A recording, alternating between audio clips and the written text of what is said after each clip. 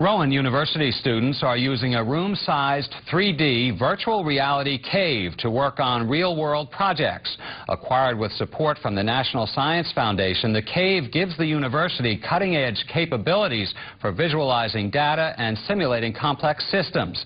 Now, science and technology correspondent Patrick Regan broke out his high-tech spelunker skills to bring us this report. Inside the cave, three walls and the floor become a canvas for high-resolution images joined more or less seamlessly at the edges. The system knows where the viewer is walking and looking and changes the scene accordingly. In principle, readings from live sensor networks out there in the real world can be integrated with data such as computer-aided design files to show what's happening where. Special glasses turn stereo projections of the data into three-dimensional illusions with the help of the brain.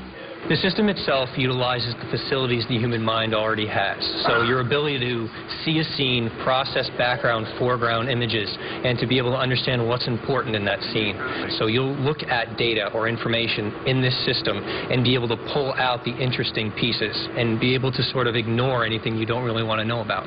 And so even when the setting is artificial, in this case I've been dropped into the middle of an engineering drawing, the experience is very real and the understanding is quite different from what you would get looking at a two-dimensional representation or a description of the same system. High-speed networking can enable people in one such cave to experience a simulation created in another.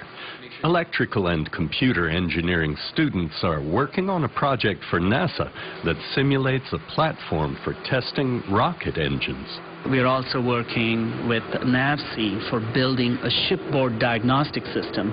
Uh, this is uh, the ships are in the Indian Ocean, video data is transmitted to shore, and we can monitor the condition of the ship uh, and simulate the condition of the ship inside a virtual reality environment.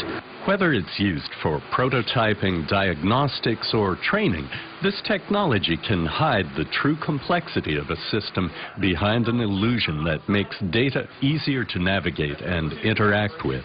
For students, the chance to work behind the scenes, engineering these useful illusions is a rare one, according to Department Chair Shreekanth Mandayam. This is the only cave in a university in the state of New Jersey and uh, having it co-located here with the business incubator in the South Jersey Technology Park means that this cutting-edge technology is available to many users in New Jersey. Uh, we are able to train our students to use the technology, and we're able to deploy it and uh, serve the public. Patrick Regan, NJN News, Glassboro.